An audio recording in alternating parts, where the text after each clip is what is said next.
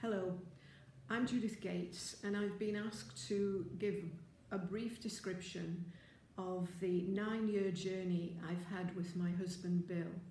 Bill suffers from sports related neurodegenerative disease, and I've been by his side as that condition has progressed. And today I'm planning to share with you some practical advice that has been learned by experience. I think the first and most important thing that I want to say is that it's absolutely crucial to look at things from the perspective of the person to whom you're giving care. You know that they're experiencing bewilderment, you know they're experiencing confusion.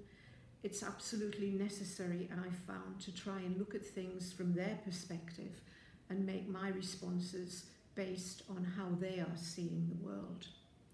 And of course, during that journey, times have changed. Right at the beginning with Bill, it was short term memory issues, like trying to remember what time he was meeting people or what he was doing on certain days. And at that time, the important thing was to have a clear structure in our home.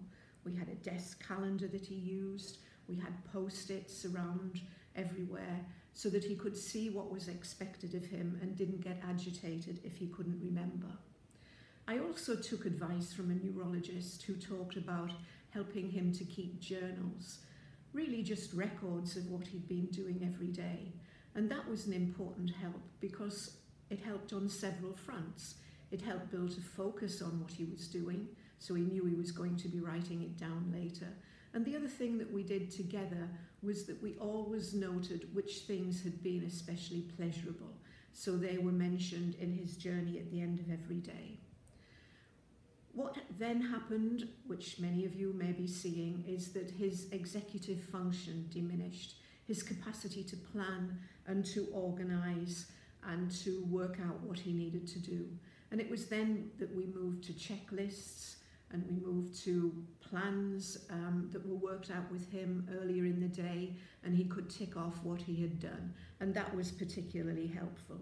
We had labels around the place so that he could be reminded of what he needed to do.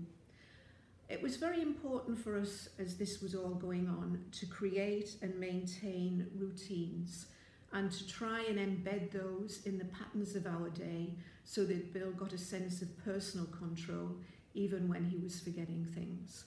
And I found that those practical strategies, those practical care strategies that really begin from thinking of how the world looks to him and trying to help him cope with it have been the ones that are the most effective.